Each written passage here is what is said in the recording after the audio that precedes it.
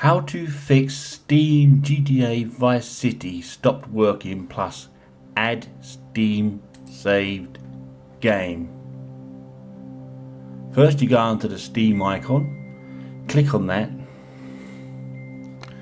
go up to your library to find the game, click on that. Uh, there's your Grand Theft Auto Vice City. You click on that and go to properties. And that'll come up. And then go to local files. Browse local files. Go find the file GTA VC click on that. Go to the properties on that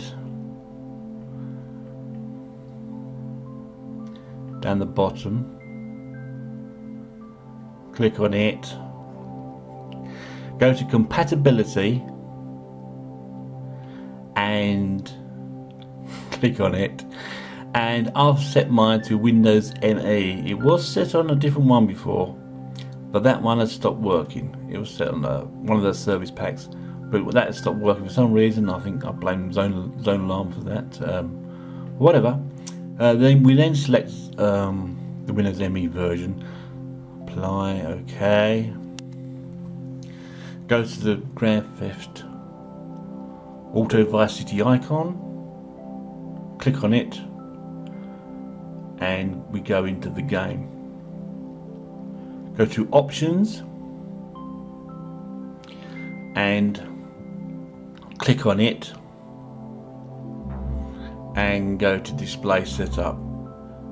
Mine's already locked in, but you go left and right here, click on it and go left and right, and select 1600 by 900 uh, by 32. I've got mine set at, but um, this is the one that works for the, the uh, cut screens anyway on this version.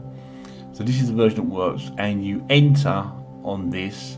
You don't go straight to the back, you go enter, so you enter it, and then you press back we go back again and start the game. New game to see if the cut screens work.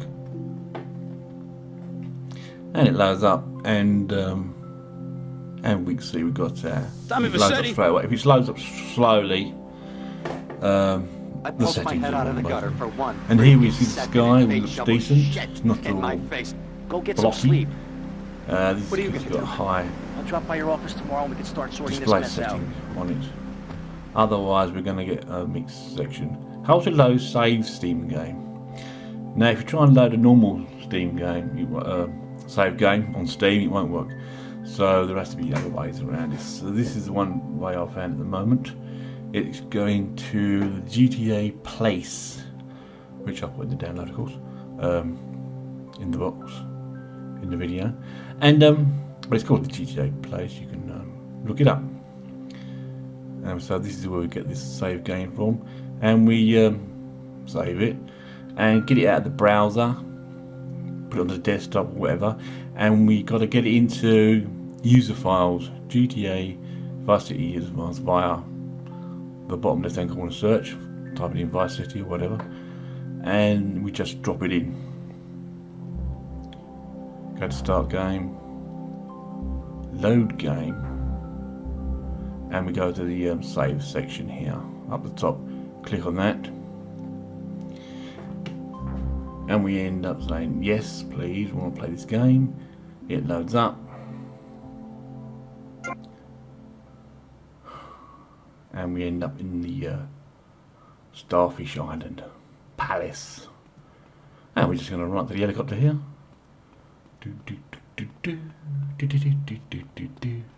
Run, run, run, running up the hill.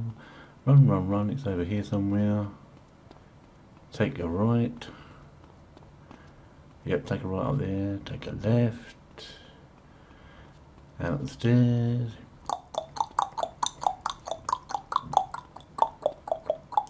Starfish Island helicopter base. And we're going up here. We're going to fly a little helicopter.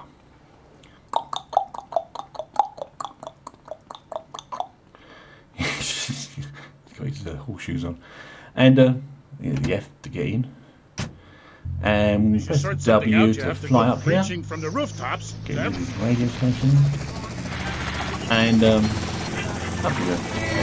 And to move forward, um, um, A and D left and right. And uh, to move forward, with the keypad, 9 button. Keypad 9 for forward. And here we go. Going to go forward now. Going to go forward. There we go. And we're flying. And it's great. Bada bada bada bada bada bada bada bada bada. So. So.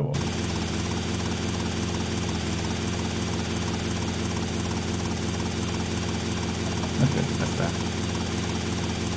Hope you enjoyed the video. Good luck.